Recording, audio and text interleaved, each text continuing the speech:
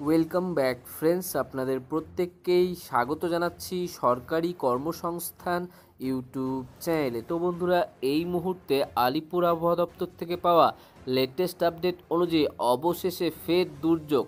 নামবে তাপমাত্রার পারদ। এই সাতটি জেলায় বৃষ্টির পাশাপাশি শিলাবৃষ্টিরও পূর্বাভাস দিল আলিপুর আবহাওয়া দপ্তর। তো বন্ধুরা, সে নিয়ে আজকের লেটেস্ট ওয়েদার আপডেটটি আমি আপনাদের সাথে শেয়ার করতে যাচ্ছি। যে আলিপুর আবহাওয়া দপ্তরের তরফ থেকে পশ্চিমবঙ্গের কোন কোন জেলায় বৃষ্টি পাশাপাশি কোন কোন জেলায় শিলাবৃষ্টিপাতের পূর্বাভাস জারি করা হয়েছে, সমস্ত কিছু তথ্য ডিটেলসে এই ভিডিওতে জানাব। তার আগে আপনাদের কাছে একটি রিকোয়েস্ট যদি আপনারা এখনও পর্যন্ত আমাদের চ্যানেলটিকে সাবস্ক্রাইব করে না থাকেন, তো চ্যানেলটিকে সাবস্ক্রাইব করে পাশে রাখবেন। ভিডিওটি ইনফরমেটিভ মনে হলে অবশ্যই প্রচুর লাইক এবং শেয়ার করতে ভুলবেন না। চলতি বছর শীতের মরশুমে একাধিকবার বাধাপ্ত হয়েছে শীত। একাধিকবার শীত বাধাপ্ত হয়েছে মূলত পশ্চিমী ঝঞ্ঝার কারণে। ডিসেম্বর মাসের শেষের দিকে ফের শীত বাড়তে শুরু করলেও মাঝে আবারও বাধাপ্ত হয়। সেই বাধা কাটিয়ে সম্প্রতি নতুন করে শীতের দেখা মিলেছে। তবে তা আবার উদা হতে যেতে বসে সম্প্রতি নতুন করে একটি পশ্চিমী ঝঞ্ঝার কারণে শীত উদা হতে যাওয়ার পাশাপাশি নতুন করে বৃষ্টিপাতের সম্ভাবনা তৈরি হয়েছে।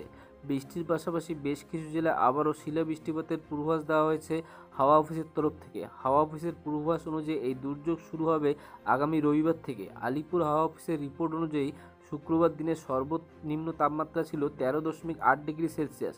স্বাভাবিকের তুলনায় এক ডিগ্রি কম। অন্যদিকে চব্বিশ ঘন্টায় দিনের সর্বোচ্চ তাপমাত্রা ছিল তেইশ দশমিক পাঁচ ডিগ্রি সেলসিয়াস, যা স্বাভাবিকের তুলনায় দুই ডিগ্রি কম। এর পাশাপাশি হাওয়া অফিসের তরফ থেকে জানানো হয়েছে, আগামী রবিবার, মঙ্গলবার এবং বুধবার এই সমস্ত এলাকায় বৃষ্টিপাতের সম্ভাবনা রয়েছে।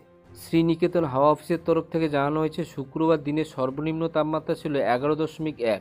এই তাপমাত্রা স্বাভাবিকের তুলনায় এক ডিগ্রি কম। অন্যদিকে গত চব্বিশ ঘন্টায় দিনের সর্বোচ্চ তাপমাত্রা ছিল একুশ ডিগ্রি সেলসিয়াসের আশেপাশে। স্বাভাবিকের তুলনায় তিন ডিগ্রি কম।